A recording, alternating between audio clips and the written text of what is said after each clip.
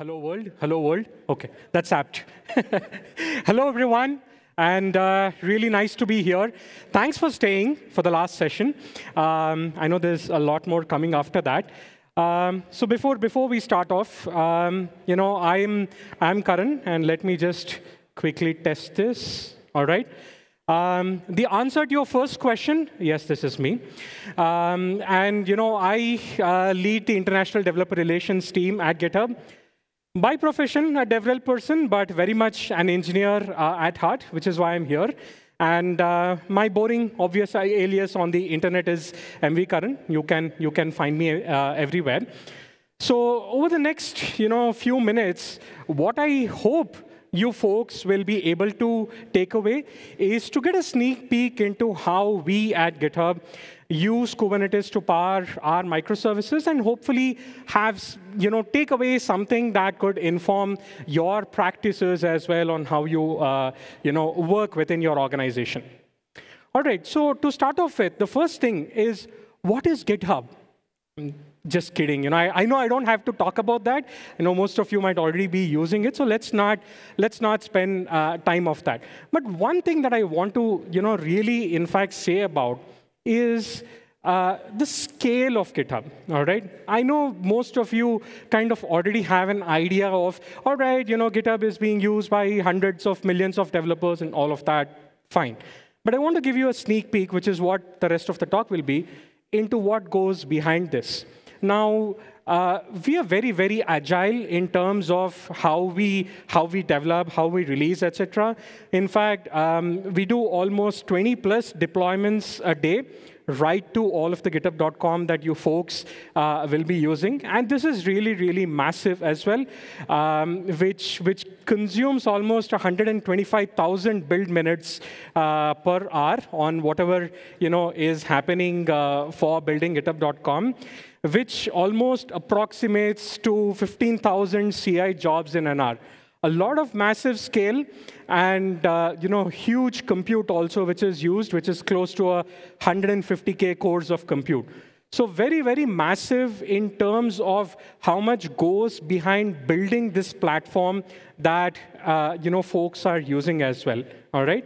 And it's not just the scale of what happens for you know building GitHub.com, but it's also what is this? You know, what is what is the GitHub code base, right?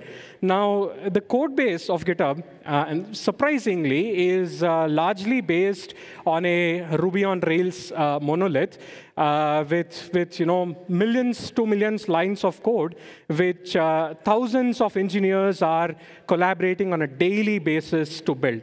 However, uh, there is there is a lot that happens as well. So it's, of course, not just one code base and there's a lot happening, but there are hundreds of services which are a part of the github.com platform performing various different things it could be you know a small internal tool to even maybe you know a large API that is supporting all of the production workloads, uh, which which you know applications or anyone else could be uh, consuming as well. So you know it's uh, it's it's kind of a mix between a lot of the microservices that are running, as well as uh, you know the monolith uh, uh, code base itself. So of course, you know, one of, one of the things, if we look at it from how do we run all of these services, well, the first thing and an easy thing would be like just go spin up a VM for everything, right? That's, that's an easy part. But I wouldn't be here talking about that if that were that easy. So the first thing, of course, is very, very inefficient. Outside of like, blah, you know, like just spin up a VM for every service, it's of course inefficient but for a lot of different, you know, well thought about reasons as well. Now, if you think about it, um, the first thing is the planning and capacity management itself becomes such a challenge. You know, hundreds of services, how do you manage the capacity? Uh, you know, you kind of have to uh, keep on horizontally scaling or vertically scaling, figuring how to manage all of the VMs for all of these services, which is, again, a big challenge. Uh, it's also inefficient because if you say that, all right, fine, you know, you don't have to use a VM, but uh, you know, let let's let's use Kubernetes and let each of the service owners do that. again a challenge because if you're saying that, okay, you know, hey, you know, service owner, whoever is doing it, go run your own Kubernetes cluster, it also means that that service team need to have an expertise in managing that cluster, right? So should, should they manage on operating the cluster or should they manage on the application? Again, a challenge. Also a challenge because you'll get very less central visibility. Of course, you might get some idea about performance and things like that, but what about the other aspects of observability which might not be there? Also, enforcing and then you know really tracking a lot of the security and compliance becomes becomes a lot of challenge. And of course this is this is something which is you know very much very much known and i'm you know sure that's something that uh, you know you folks use as well. And that is where uh, you know a lot of our paved path comes into play now, you might have heard uh, path or various different terminologies that other organizations use for uh, similar thing. And uh, the paved path at GitHub is largely an ecosystem of tools. Uh, so it's, it's, a, it's a comprehensive suite which, which uh, you know, we have created to make it very easy for engineers at GitHub to really focus a lot on their service and their application rather than worry about, you know, where is it running, what's the infrastructure, and all of those things, all right? So clear path. Now, just let's, let's double click into it. You know, saying pave path, of course, is easy, but what goes into it? What is GitHub's pave path? Now, you might be thinking, K8s! Yes. However, um, it also covers a lot of the other aspects um, you know, of just creating and also deploying, scaling, and debugging the entire life cycle. So tools, practices, conventions that covers all of this life cycle. And again, it's not just Kubernetes, but also an ecosystem of tools, which of course includes uh, Kubernetes and Docker, but also other things, infrastructure tools like your load balancers, a lot of other custom operators and tools, custom apps as well, which go into play. And you know, we typically use this paved path for multiple things, as simple things like web apps, or computation pipelines, or even running a lot of the batch processes, etc. Again, keep in mind that we run a lot of varying workloads, internal tools to even API production workloads. And of course, our Kubernetes footprint runs in a multi-cluster and multi-region topology. So whenever, usually, when I'm, uh, I'm going to talk about deployments in a couple of minutes, uh, we usually do that across clusters, across regions as well. So um, how does this help us? You know, I mean, I'm not going to talk about, of course, benefits of Kubernetes, but benefits of the paved path being based on Kubernetes. Now, the first thing is, of course, easy to manage capacity centrally because you don't have to really worry about capacity for each virtual machine. You're just thinking about capacity from a node's perspective. Uh, and we have to just manage capacity for the Kubernetes nodes. Um, again, we can, of course, scale very rapidly as well due to centralized planning. Really look at what uh, you know the workloads are running, how much capacity is needed, and you know again scale rapidly as easy as adding uh, more nodes. Um, and also, a lot of you know the native um, uh, native features of Git uh, Kubernetes can be used for getting insights into the app and the deployment uh, performance itself, which is again difficult if you're thinking about it from a VM perspective. Um, and also, managing all of the configurations and the deployments in a, in a central control plane without having to, uh, across all of the services, without having to worry about, OK, this is the dashboard for this service, and you know, how do you manage capacity for this, and all of those things. Um, of course, very, very helpful and uh, successful as well. Now, this is one of the examples I want to take throughout the rest of the uh, session. Now, we have our custom Open Graph image service, which generates all of this uh, Open Graph images and social cards that you would have seen whenever there is a repo being shared or whenever there is you know, a pull request like this is being shared, 122K. OK, that's a fancy number pull request I pulled out. Um, or an issue or a comment or whatever else it is, right? So it's a, it's a custom Open Graph uh, image uh, you know, service that we have written. It's a very, very simple what you could expect, a Node.js uh, app which pulls whatever is the data from the public GitHub GraphQL API, um, does some more HTML, CSS templating, and yes, it does a quick screenshot of that HTML, CSS, and then serves this image. A very, very simple uh, example. If you want to know more about this, there's also a blog post uh, on github.blog. So let's take this you know, as an example, uh, and I'll walk you through of what happens behind the scenes of, um, you know, say, running this on our Kubernetes footprint on our paved path. However, before that, I want to introduce a rock star. No, not something that you think. I know it would be very cool if a celebrity just jumps up over here saying, let's have a party, but Unfortunately not, but as equal to it is, you know, this open source project called Hubot.io slash Hubot, um, which is an open source framework to build chatbots. So it was initially uh, authored by us at GitHub and then made uh, open source. So this is a this is a chatbot that we uh, you know, use internally as well as heavily, heavily depend on for a lot of operational tasks as well as you know, just managing um, you know, a lot of things.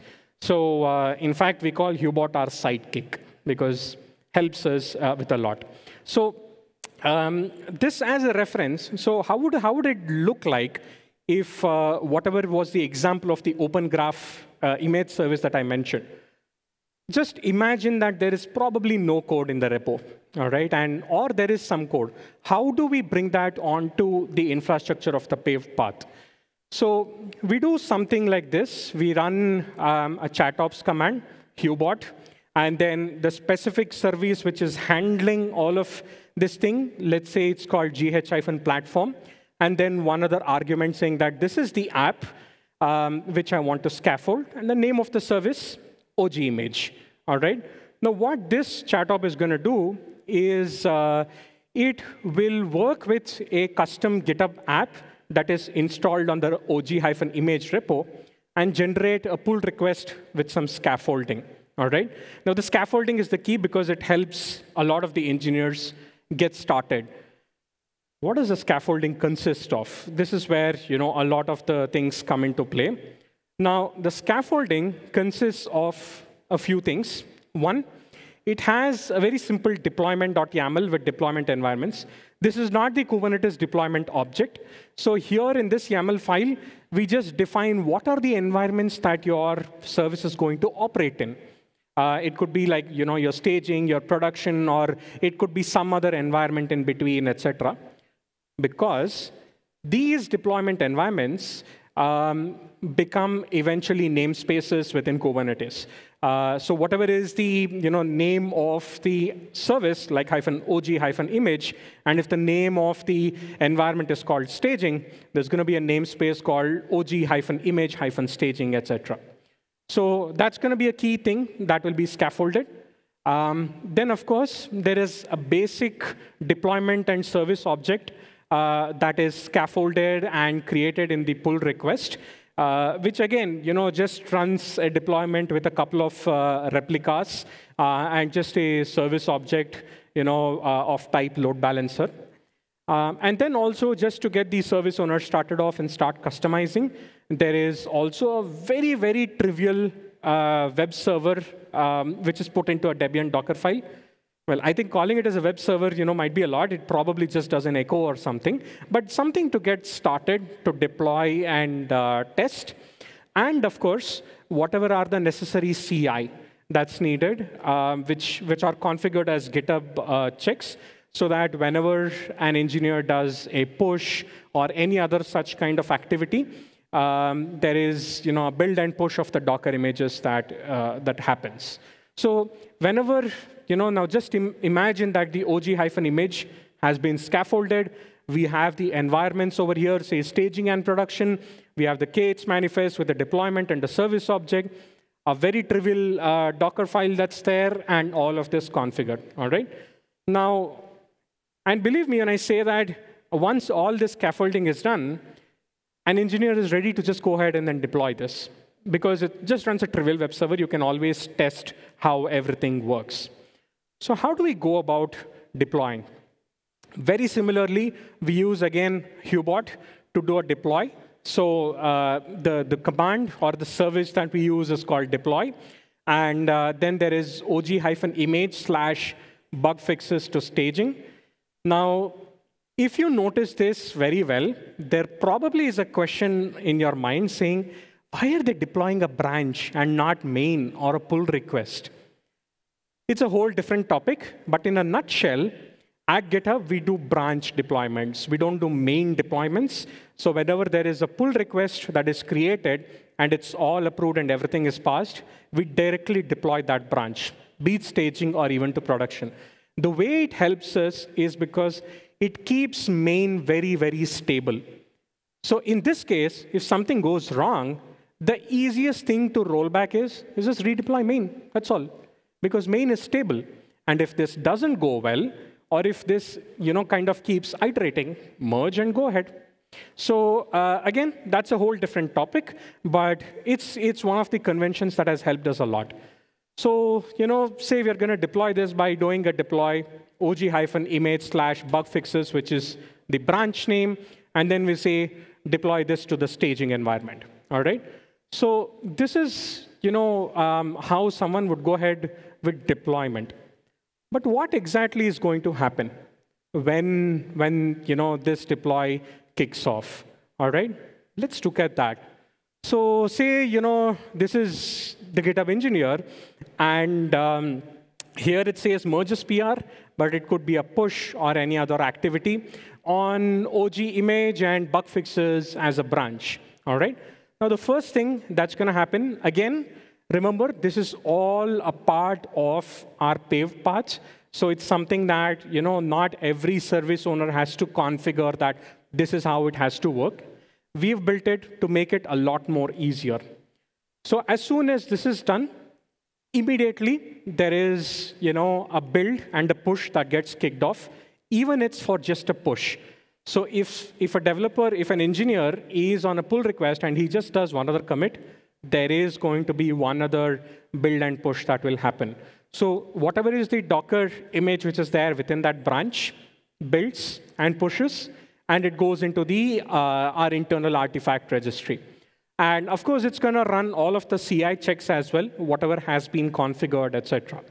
Now, once the CI checks and all are complete, that is when, uh, you know, on the pull request, the engineer can then say, OK, you know, everything is ready. So I am ready to go ahead and deploy. And that's when they go ahead and then say, OK, I'm going to run this chatop command for deploying, which is hubot deploy og image bug fixes to staging. And that is something which gets picked up by uh, the hubot chatop service, which uh, we have an instance of that running internally. And this is what goes ahead and triggers the build and the deploy. All right? Fairly simple, fairly easy on whatever happens till now. However, a lot of our magic working with Kubernetes and also the paved path is what comes after this within the build systems.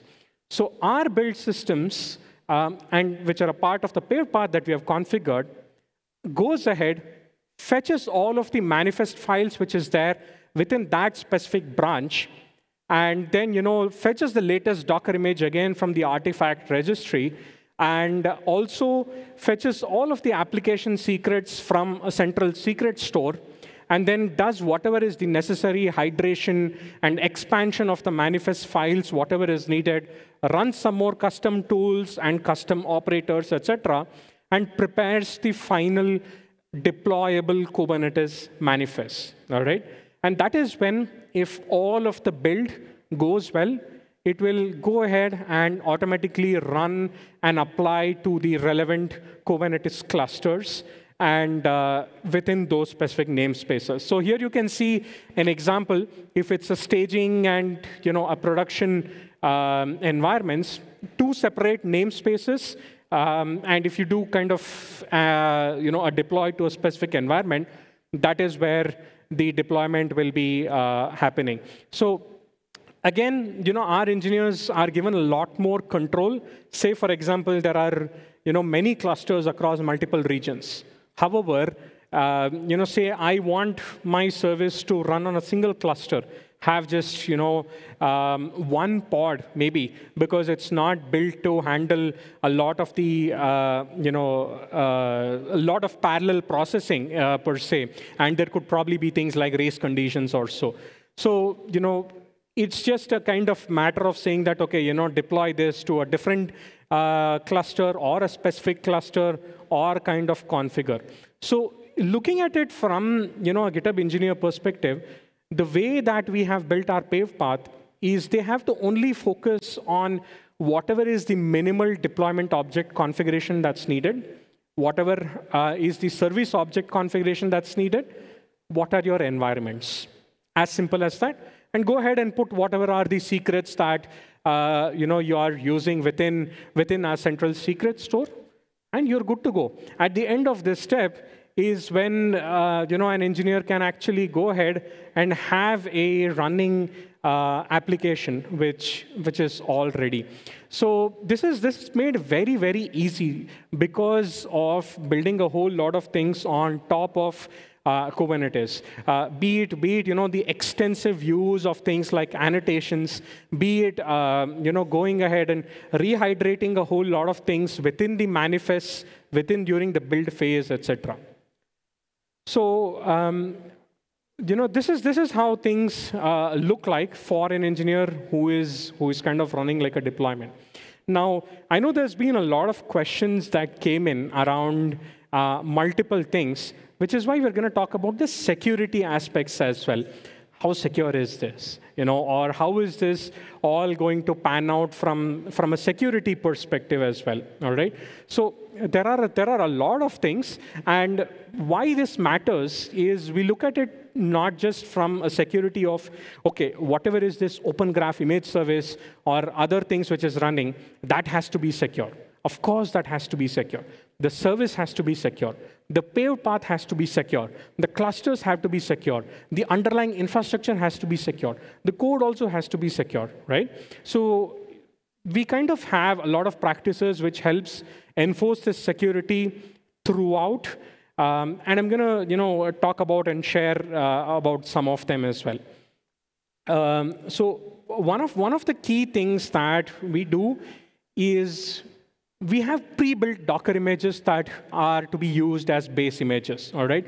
So very, very unlikely that one of the service which is running just uses like an upstream Ubuntu or an upstream Node.js uh, you know, image. Uh, so we have some pre-built Docker images which uh, you know, have only absolutely essential necessary packages, etc. And even if there is an installed set of binaries, making sure that they are uh, auditable, etc. So that way, it's something that you know is vetted and something that if I have to spin up a new service or an app, it's very easy to just use this base image because updates are being done to the base image. The second thing is, of course, there is a build time and also a periodic scanning of packages and all the container images for vulnerability. So uh, we do this again using uh, some of our own GitHub security features like Dependabot by looking at uh, you know all of the uh, packages and the dependency uh, manifests that are there, package.json or gem files or you know uh, composer lock files or whatever else it is looking at that, seeing if there are any vulnerabilities, raising those Dependabot uh, alerts, and making sure that um, you know it's something which which is again uh, addressed by the service owner. And these are, of course, what I'm talking about are are you know runtime artifacts. But it's not just the runtime artifacts, but also the code themselves within the repository that are scanned periodically again during build time as well. So uh, for example, one of the CI checks will be configured to do static analysis so that if there is already you know, a vulnerability that you're introducing, you just can't go ahead and merge or deploy that. There is, again, also a lot of and multiple um, authentication and authorization checks that are added if someone has to directly access the Kubernetes resources. Now, why I say this is because if you've seen in the past, you know, a few slides, an engineer just has to go and then, you know, do a scaffold which generates a PR, They don't need the underlying Kubernetes resources. They do a deploy using ChatOps. Again, that also doesn't need access to underlying Kubernetes resources, all right?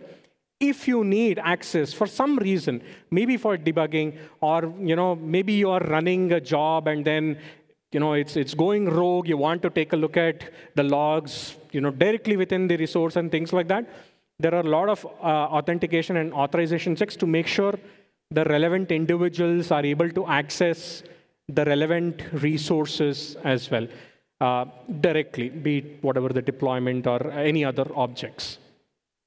There is, you know, again, also by default, all of the services, um, the hundreds of services, or anything new, are accessible only within the internal networks by default. So these are not by default exposed to the public uh, internet. So very, very, uh, or it doesn't happen where someone, you know, just creates a new service and voila, it's out in the public. It's only available default within the internal networks, and there is, of course, more configuration, change the kind of load balancer and all of those things if it has to be um, accessed internally. However, it's the same paved path, the same workloads and the same clusters which support the internal uh, tools as well as the external networks. And most often, it is the same clusters which are having you know, similar workloads running together as well. There is also a lot of branch protection policies that are enforced on all of the production repos at GitHub. So an example which I gave right now is if a pull request is, uh, you know, is probably failing a CI check or is failing one of the static analysis tests by because it's probably introduces a vulnerable package, the branch protection policy doesn't allow you to uh, you know, proceed or merge at all. Uh, and you might be thinking, well, you know, but you guys do a branch deployment. Even in that case, uh, when you kind of tell Hubot to do a deploy, it will say that, sorry, please pass this CI check, and then we'll look into it. So a lot of those protection policies are also in place. There's a lot of comprehensive telemetry for threat detection as well um, for the services to, to make sure that you know there is um, there is you know no other threats or any other intrusions that are coming into play either for the underlying services or for uh, the platform themselves. And the last thing, and which is a really nice thing, is we have a centralized secret store to manage all of the application and service secrets. So the way that this is configured is that each service for its own environment has one secret store. Or you know probably you know, like one um, secret storage. I think that's the right word. So it's a centralized secret store but og hyphen image hyphen staging will have a different store compared to og hyphen image hyphen production all right? Uh, so that that ensures that you know secrets between environments again don't get leaked or mismatched, wherein it might happen that you know you're you're running a um, you know a delete star, you know whatever it is, and then suddenly you realize that oh damn it hit my production environment. It's always uh, you know different. So again, a lot of things that we take into um, play while while building the paved path and also while making it open to the um, engineers who are there. And a lot of this stuff, and you might not be surprised with it, happens by using GitHub itself. So we use things like pull requests, like I mentioned, like branch protection policies, like Dependabot, like actions, like Codespaces, and everything that's there to build the GitHub platform itself. Because that helps us firsthand understand how the products are working and also make it a lot more better, not just for us, but also for the rest of the users. This was a very, very small part that I covered um, on how we kind of leverage uh, Kubernetes as the base layer of our pave path, which today runs a small internal tool that's accessible to employees, or even the large workloads that you might not even know is running on this paved path behind a Kubernetes cluster.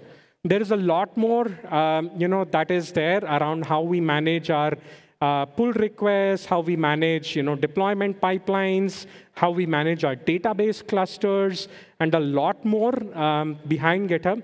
For that, feel free to just head over to the GitHub blog. You can scan that or just head over to uh, GitHub blog, and you will have you know, more uh, information. So that was about it. Thank you, everyone.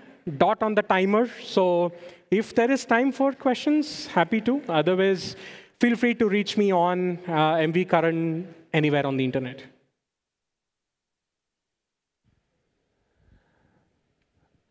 Looks like, I don't know if we have time for questions, but there's one gentleman here.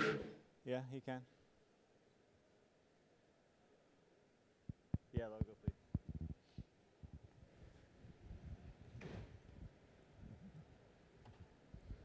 Uh, so the first question that I had was like, uh, with the implementation of Hubot, you guys uh, largely ditched the concept of CD, right? It's not continuous deployment. It's somebody manually saying that, hey, go to this environment. And it doesn't even need, like, there's an environment promotion pattern. You're again staying, saying to Hubot, go to which environment. So uh, what was the philosophy behind that? What made you go to this process instead of a traditional CD environment promotion model?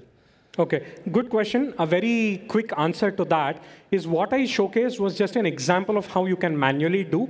So um, in what I mentioned, there is also one other um, you know, article on the GitHub blog which talks about our deployment pipelines. Now, for example, we use merge queues uh, on GitHub. Say, for example, the GitHub main repo itself is very busy with a lot of engineers wanting to deploy. So we have uh, you know, merge queues, which is, again, a native feature on GitHub, where you know, an engineer can add that pull request to the merge queue and then run a deployment pipeline. So how the deployment pipelines work is there on a blog post. But in a nutshell, we follow that practice as well and give the option to the uh, service owner or the engineer how they want to configure the service. You just have to add one more configuration saying that, OK, this is what my pipeline looks like. First, you know, do one uh, you know, deployment to probably Canary change the percentage. And then after that, go ahead and then do a deployment to staging, change the percentage, then change canary, then change production, or whatever it is. We kind of make that also available through config as code so that someone can say that, I don't want to use that, or someone can say that, I absolutely want to use that and deploy it. So both the paradigms are available. We are not ditching the CD concept and the pipelines concept or environment promotion. Uh, but again, we are not saying that uh, you know, you have to do a manual deployment. So we are not opinionated within that, within our ecosystem, and provide both options for engineers on however they want to use. Thank you so much. Uh, anybody else had a question?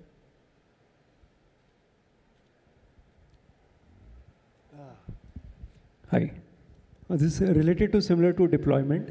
It's like, so Hubot and all, like you are deploying, but do you also support reconciliation of the deployment, like once it is done, similar to the way Argo CD does kind of thing? If there are changes. Sorry, uh, I think there's uh, something with the speakers. Can you just repeat again? Hello.